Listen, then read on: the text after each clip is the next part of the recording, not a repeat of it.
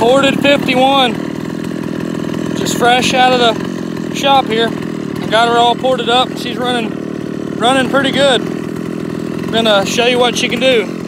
We got about a